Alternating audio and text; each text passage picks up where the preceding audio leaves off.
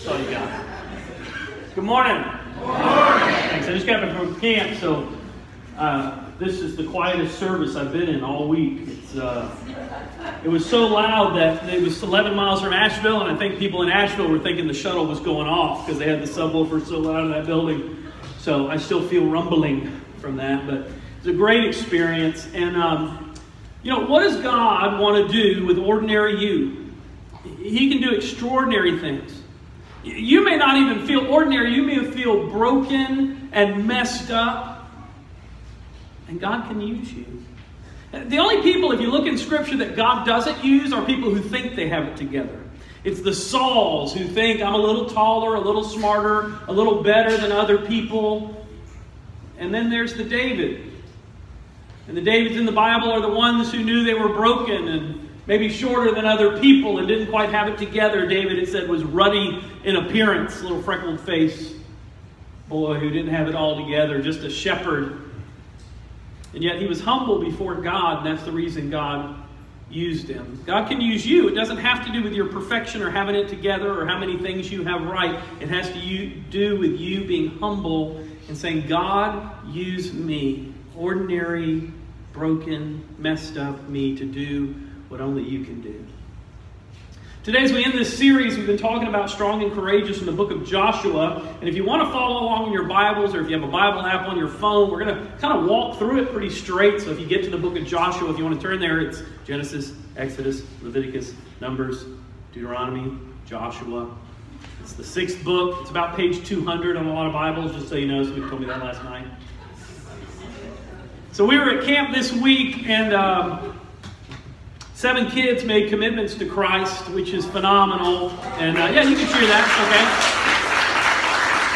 okay? And uh, and just so you know, you know, I know you're sitting there and you're going, "Well, I've been to camps where they just manipulate people." One night, the speaker, before he even got up to speak, said, um, "I just feel like some kids need to give their lives to Christ. So if you need to, just go to youth pastor." I mean, he said it literally just like that. Two kids came to me and said, "I want to give my life to Christ tonight." And I'm like, "Dude, the important part hasn't even happened yet."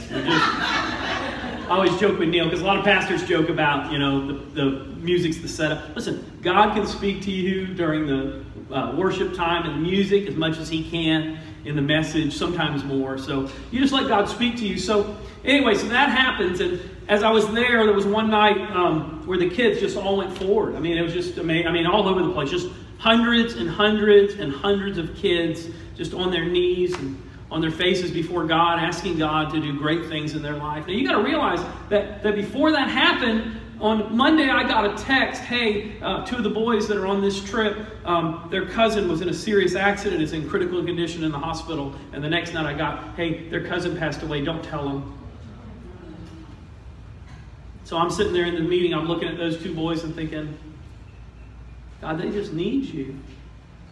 And those two boys, one of them gave their life to Christ, the other one had already committed to Christ, and they both were down there. And I'm looking up there and I see all those kids, and I, I think, God, you're so good. That night, I got an email, a Facebook message from a former student and as I was sitting there watching this, I said, I've not seen that in 20 years. I mean, I, I've been to youth camps over and over again. I, have gone to a lot of youth camps the last 25 years of ministry, and even as an older youth in school. And this is one of the only times that I've seen God really move this way in students. And as I was looking at that, I thought, man, I remember my students years ago. And one of the students from years ago had no idea that was going on. She emailed me, Facebook noted me, and said, Erick, did you know I got saved at Student Life Camp? She said, Do you remember? And I said, Oh, yeah, I remember. Let me tell you her story real quick. Her name is Christine. Um, and she came to the youth group. I'll never forget this because she came with a guy that, um, exactly, that is a perfect place. That's how I felt about that guy. I just thank you for your illustration. By the way, this is Baby Sunday. We got about five babies in the service and one any minute. So um, if, you, if you got some towels or something just in case, just be ready. Any paramedics, we do have nurses here. Your guys are on call today. So if you hear screaming, head that way right there, okay? So, hey baby, I'll see you in a few weeks. I love it when babies, when they first like are born and I walk into the room, they go, I know that voice. I mean, it sounded more like this, but I still know. I'm Kern. sounds kind of like this, but I don't know. So, so Christine did not come from a Christian home. And I remember, now this is me as a youth pastor. I'm 20 something years old. And I remember she came home with this guy, and I wanted to go to her. Don't date him. Stay away from him. Because uh, I knew him, and he was a doofus in the Greek, doufaso. And, uh, and so I remember her coming in with him. She came from a home, didn't know anything about Jesus. Her family did not go to church, did not talk about Jesus, anything. She didn't know anything. She came to camp. Now, you got to understand when a guy and a girl come to camp, as a youth pastor, you get your leaders together and you go, come here, come here. And all the squirrels in my head said, You have to have a meeting. Yes, I have to have a meeting. Yes, you do. Okay. So I bring all the youth leaders together. All right, huddle, huddle. Now listen, we've got a boyfriend and girlfriend alert. What? Boyfriend and girlfriend alert. If you see them headed for woods, if you see them headed alone anywhere, take them down. So that's what you do. So you spend camp time, and anybody who's done a youth camp knows that's exactly what you do. You you're like, oh, no, no, no, where are they? Where are they? Where are they? Oh, okay, we're good. We're good. We're good. Where are they? Where are they? Where are they? Where are they? Are they here? Are they here? Are they here? Run outside. Oh, you're in the bathroom. Okay, good. Okay. Just came to check on you. No big deal. That was great. You know, and it's okay if one of them's gone. If one of them's gone, you're like, nah, he's not here yet. It's okay. But if both of them are gone, it's like, okay, we do not want a problem in nine months. Where are those children? Go get them. Anyway, so uh, so I remember. Trust me, I remember. So we were at, and I remember when these kids were up front. Here's what I remembered. I remembered her going forward at, at Covenant College in Tennessee and going onto the steps and praying. And I thought, has she just had a bad week, or you know, because you don't know. And then I remember one of the ladies, Mrs. Bush, uh, Diane Bush, one of the youth leaders, went up and prayed with her and started crying, and they were crying. I'm a youth pastor, so I said women. no, I didn't. Yes, okay. Yes, did. It was wrong of me, but I did. Okay, so, and then Mrs. Bush goes, come here, come here. And I'm like, oh, they're calling for backup, right? So I go in and she says, uh, I want to give my life to Christ. And I almost wanted to go, really? she gave her life to Christ. So when she connected with me on Facebook just a few years ago, she wrote me this note. She said, Erick, I want you to know I gave my life to Christ. I now have three children. I'm raising them in a Christian home. I play piano for church, and I teach Sunday school every single week. And she sends me a note Erick, do you remember what happened? And as I'm seeing seven kids who said, I've given my life to Christ, I've taken that next step, and then other kids who are saying, I've recommitted my life to Christ. Listen, I know when God's moving when a kid comes to me and says, I need to go home and apologize to my parents. you what? Yeah, I just, I need to, I've been kind of rude. I need to go apologize. I'm sure when they got home, their parents, Elizabeth, I'm coming, right? And if you don't know what that is, you're too young. Okay, so so this happens at camp this week, and I see these kids, and I realize, and, and, and I don't know if it was me or one of the leaders, Erica took a, a picture of the kids at the altar, and I'm going to get that picture, and I want to put it in my office to remind me of what God has done because you and I need reminders of what God's done so that in the present, when the enemy comes to you and says, You are worthless, when you wake up tomorrow morning and you go, You're not doing good. Every pastor that I know wakes up on Monday morning and Satan comes and goes, You know, you really shouldn't be a pastor. And a lot of us go, This is true. So today I want to encourage you if you're discouraged. Some of you, instead of being strong and courageous, feel weak and discouraged. So I hope today, as we walk through the book of Joshua just real quick, and I'll just hit on some highlights and some high notes, and maybe you can say, God, would you change my heart? Like the song said, bring a fire that I can't control. I, I can't control it. You're, you're taking over my life. So let's look today. Five important truths from the book of Joshua. Number one, I can trust God with each change and challenge. So this is in Joshua chapter 1. And Joshua's already been told by Moses, be strong and courageous. He's told by God, be strong and courageous. In a minute, he gets told by the people, be strong and courageous. You know why? Because he didn't feel strong and courageous. You have to realize that Joshua was one of the spies that went into the promised land. And the last time he went into the promised land, he and Caleb came back and said, Hey, we need to go in.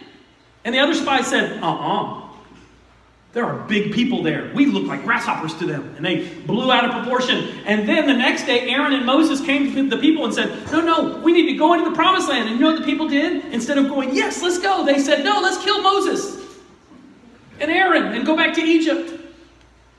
And then God had to come in and all kind of things went on that weren't good. And so I am sure as Joshua was getting ready again to say to them, We're getting ready to go, that I am sure, because I know anytime God moves in your life and in my life, this is exactly what happens. And if you're being uh, haunted, and if, and if you're feeling oppressed, and if you're sensing that you're a failure, I can tell you right now it's because God is getting ready to do something great. Because here's the deal I am sure when he got ready to cross, he thought, Oh no. Joshua, do you remember what happened last time? But that's not going to happen this time. Joshua, you know, Moses was a great leader. He grew up in Pharaoh's house. He knew how to write and how to talk and all the things to do. He knew diplomacy. He was taught how to rule, and you were born a slave.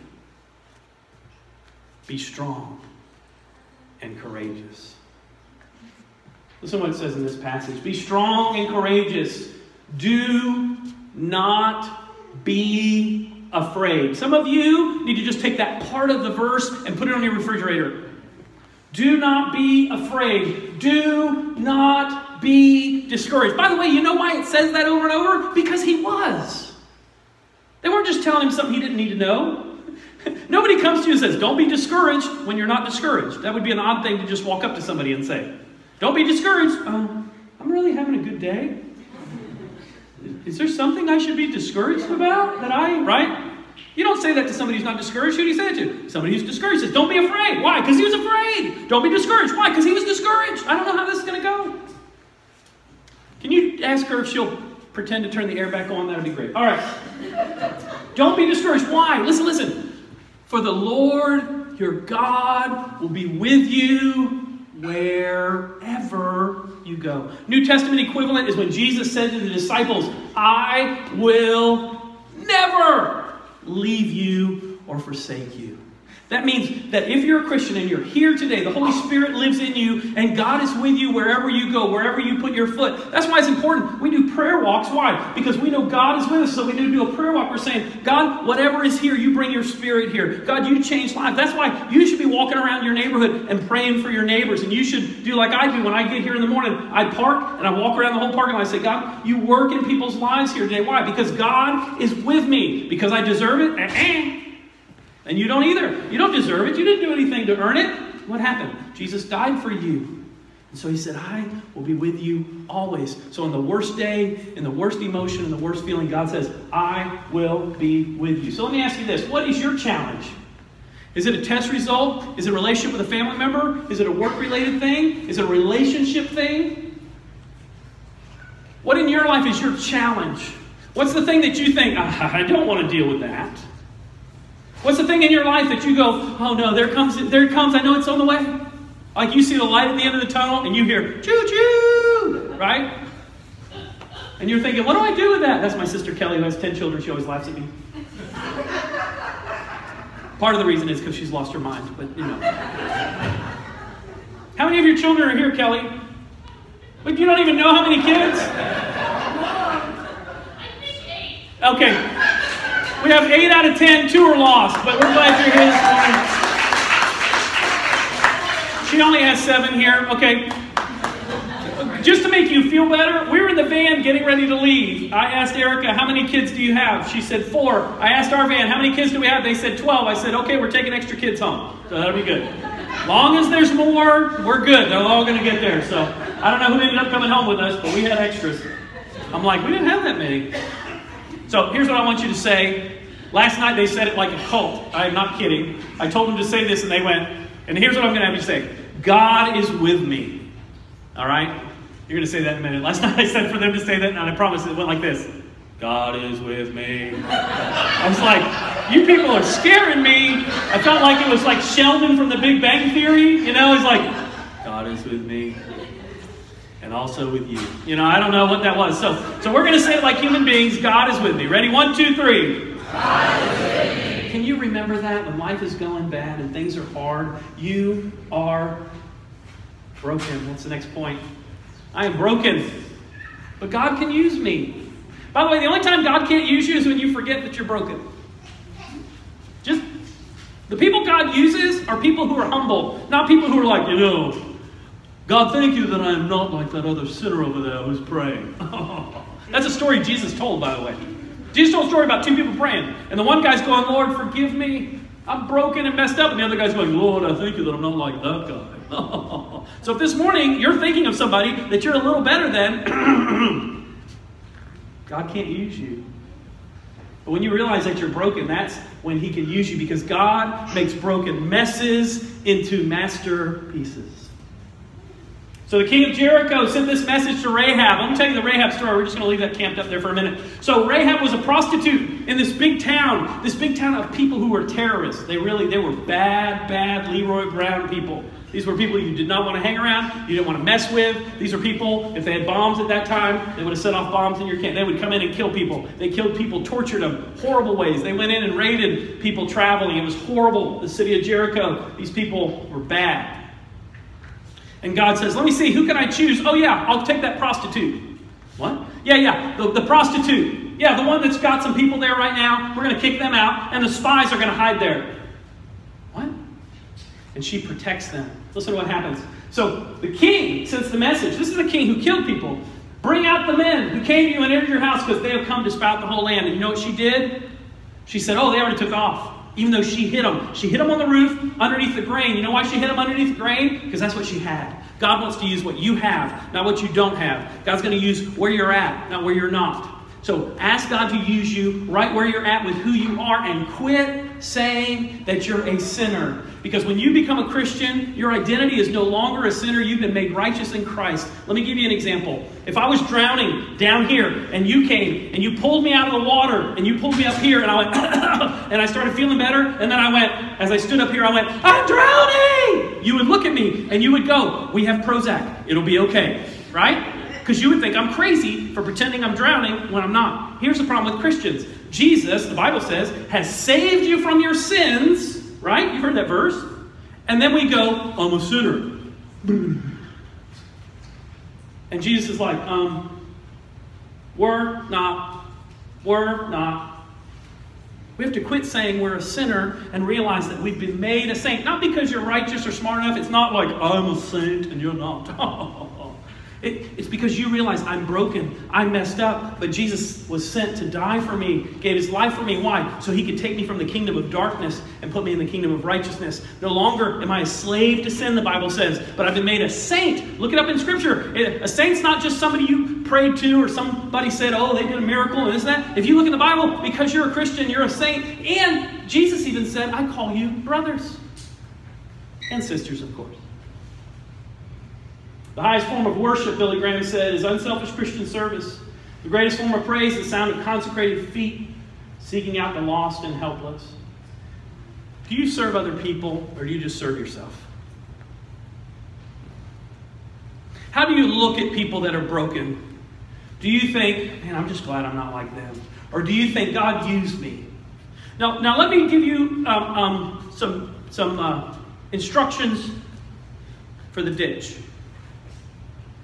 Because you're going to be walking down the road and you're going to come across somebody who's in the ditch that you feel like God wants you to help. Okay? Like the Good Samaritan who helped the guy who was beat up on the side of the road. And you're going to come, maybe they have a drug addiction or maybe they have an alcohol problem. And let me tell you what will happen. You'll go over and help them. Some of those people, you'll be like, where'd they go? Oh, they're back in the ditch. They like the ditch. Sometimes you have to let those people stay in the ditch. Sometimes you have to let them stay in the ditch till they feel the weight of being in the ditch until they're really ready to get out of the ditch. But because, listen, sometimes when I pull people out of the ditch, can I tell you what they do? They punch me in the face and get back in the ditch. And I have a choice at that point. Am I going to quit helping people because that last person wasn't nice to me when I helped them? Or am I going to say, Jesus, I serve you. You went to the cross. The least I can do is take a punch in the face. Help me to find the balance of not enabling somebody, but helping someone to find their way home to Christ. And by the way, if you're in the ditch, you need to get to the point that you're ready to get out of the ditch.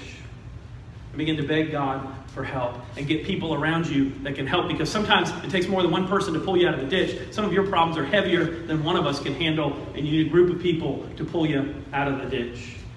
So, what do we pray? God, give me your eyes. God, give me your eyes for people. When's the last time you prayed that? God, help me to see people like you see them.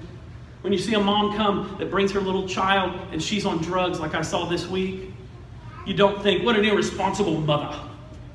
I'm glad I'm not like that mother. No, I say, Lord, please, first of all, help this child. They're growing up in a, in a neighborhood. They're seeing drug use. They're seeing abuse. They're seeing all these things. Help them. And then, Father, would you help this mom to realize she needs to find her way home to you? Help her to know that there's more joy in Christ than there is in drugs. Number three, I need reminders of past miracles. I am the most forgetful person you know. ADD is not a good thing for reminding me of things. It reminds me of things at the wrong times, like middle of the night. I forgot to call them back. But the little squirrels in my head a lot of times have meetings without me. So I go out and I put the clothes in the washing machine and I walk away and I think I got to get that in 30 minutes. And three days later I go, Where's my clothes? What's that smell?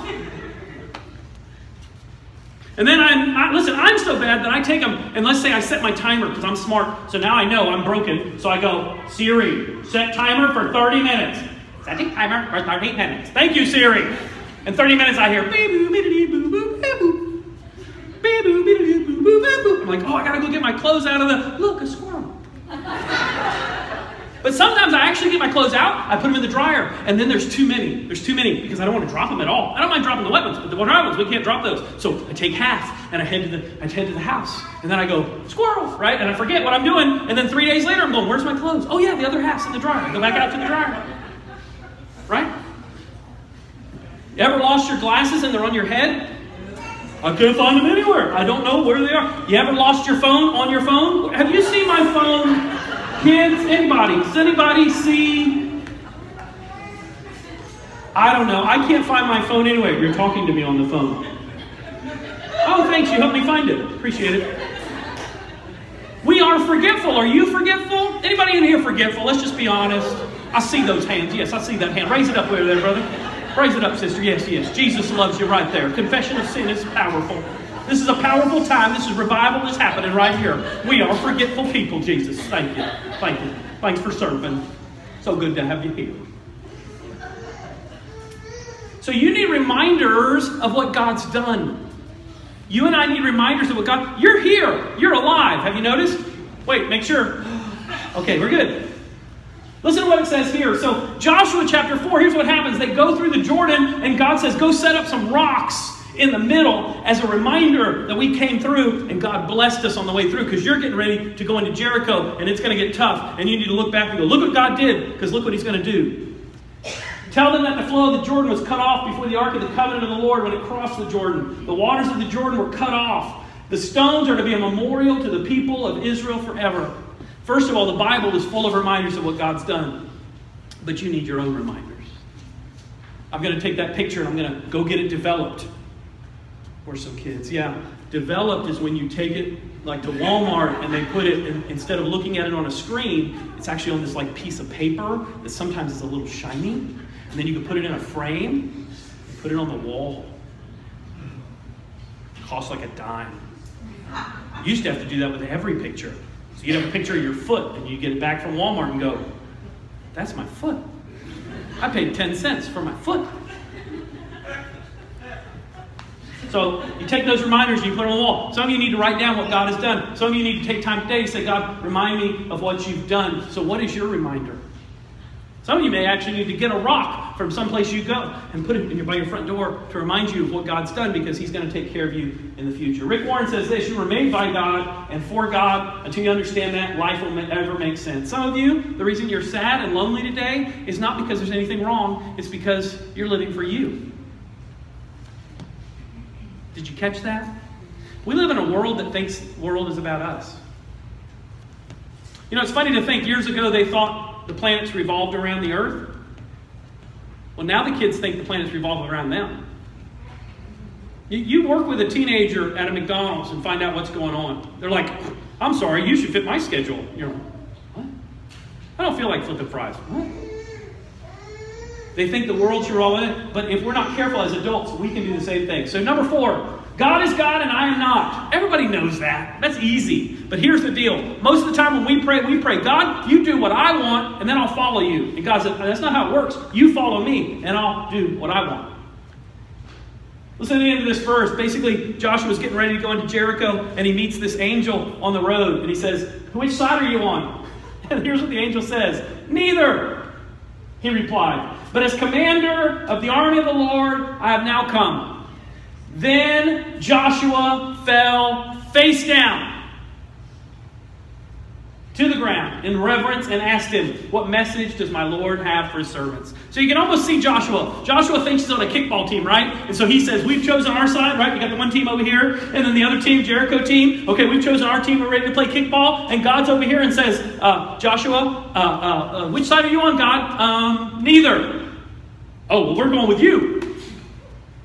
And Joshua says, We're going with you. The problem in our lives is we're too busy praying that God would do our will instead of His will. Listen, sometimes when you pray for people and you ask for healing, God doesn't heal them. Sometimes they go to heaven, which is the best healing. I understand that, but not for you. Because you, you want them around. Sometimes when you pray that God, you save this job or whatever, that He doesn't do the things you want Him to do. Why? Because you need to find out what He wants and go with Him instead and do what He wants in the middle of today. So quit thinking about what God didn't do for you yesterday and instead say, God, you know what? I'm here and now, and I want to go with you. Because when I don't go with you, things don't go well. Here's a little phrase I learned years ago. It's very simple. And this is one you can pray, you can tell God. And you may be you may need this one today. God, I don't understand you, but I trust you. God, I don't understand you, but I trust you. God doesn't do things the way we want, He's eternal. He's all powerful. That's omnipotent. He's, he's, he's omniscient. He knows everything. So, so you're not going to grasp God. You're not going to get it.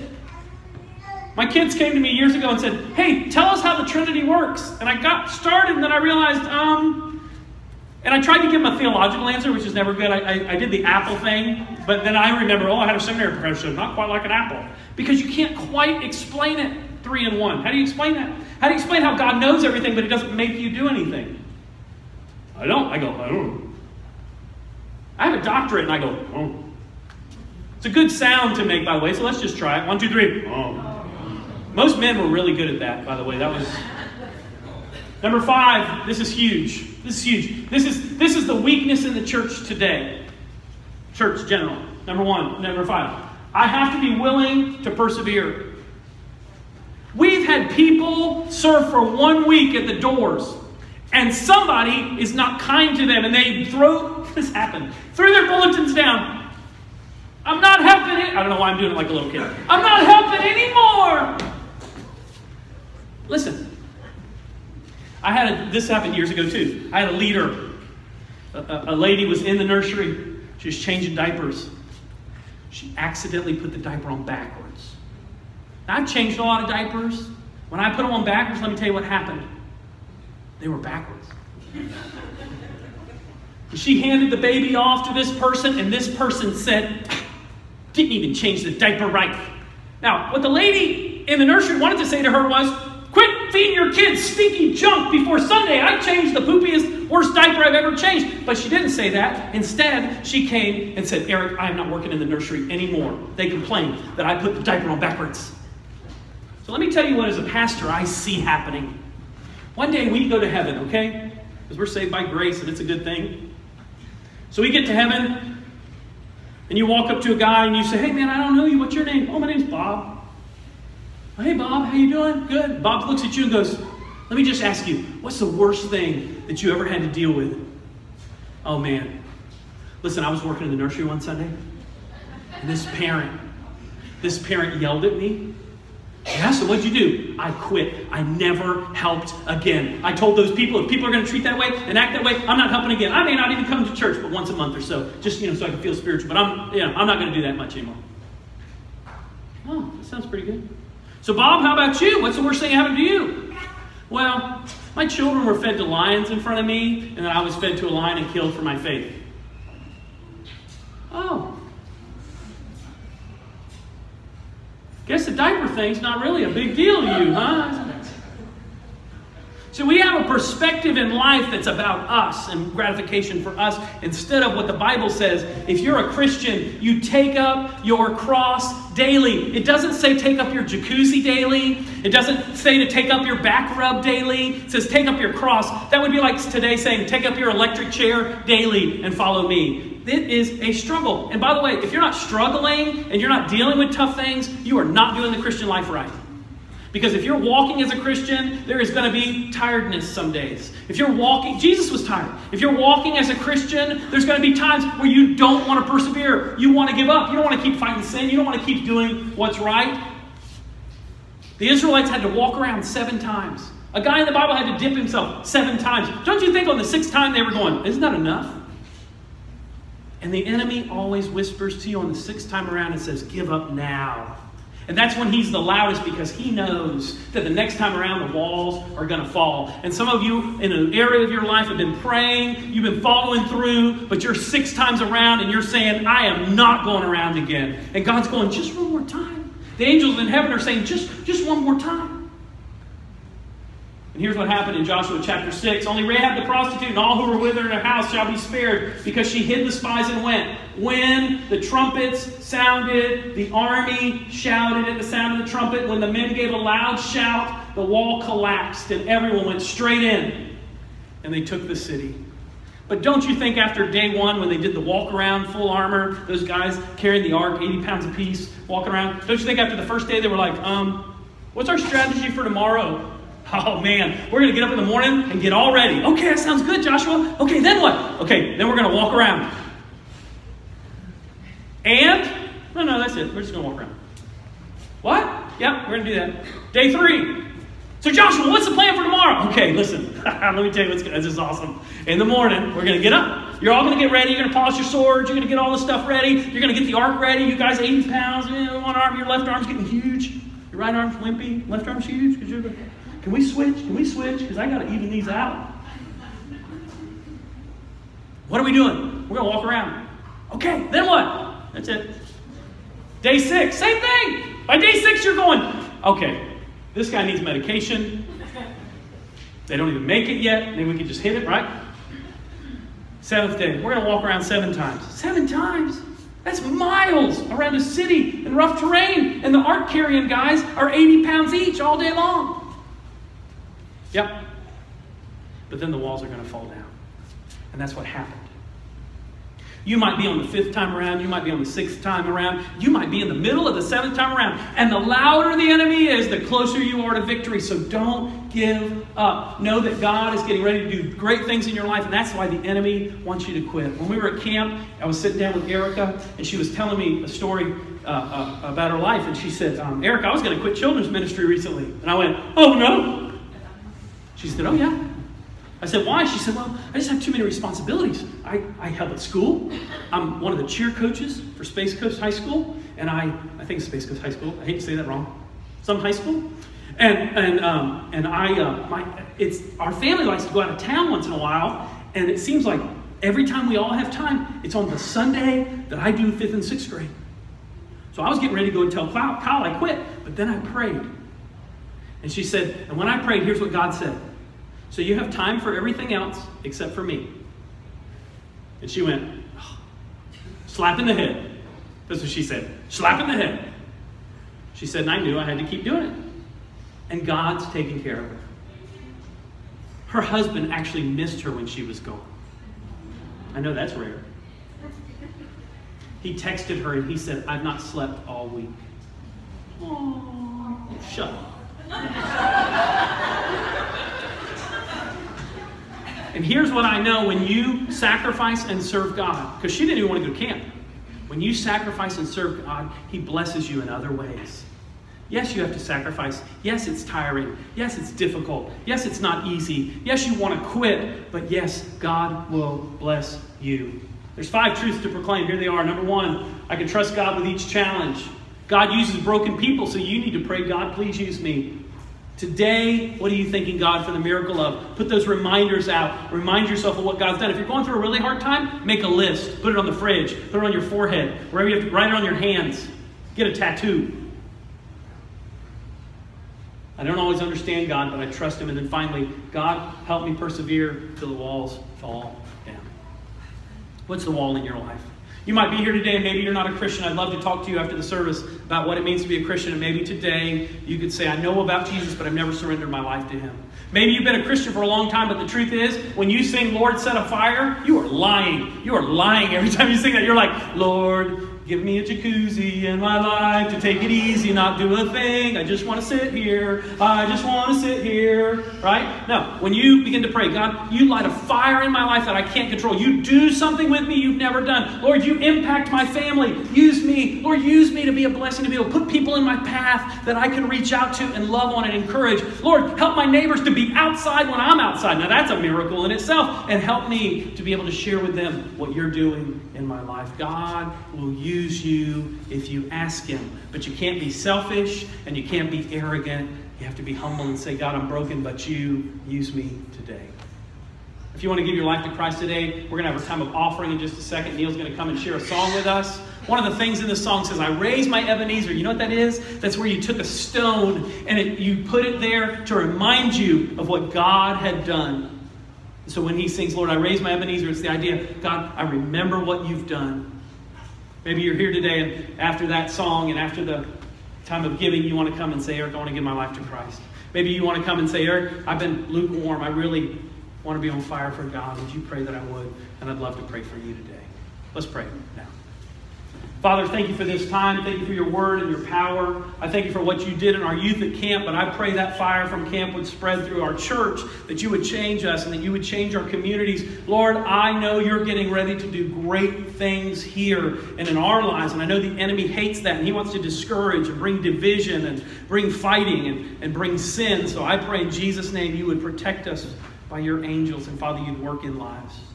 For that one who's feeling conviction today, I pray they would not just put it aside, but Father, they would repent and come to know you. Lord, I pray instead of spending eternity in hell, they would spend eternity in heaven because they surrendered their heart to you. And Lord, today we ask that you would do new things in us. In Jesus' name, amen. We're going to have our time of giving. You give what God's put on your heart, what He tells you to give today. This is a great old song.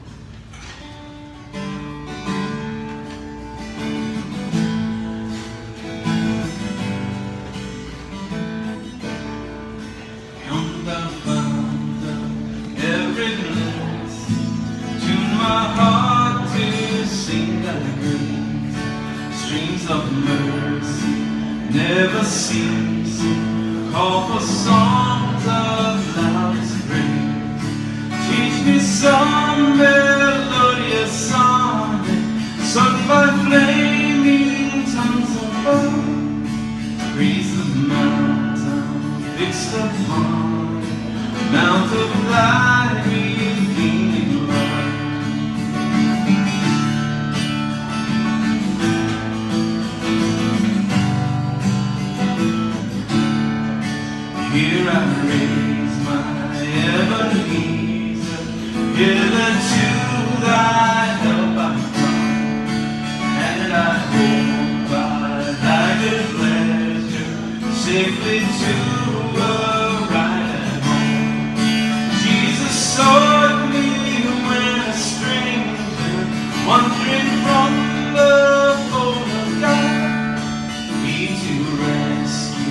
me from danger, his precious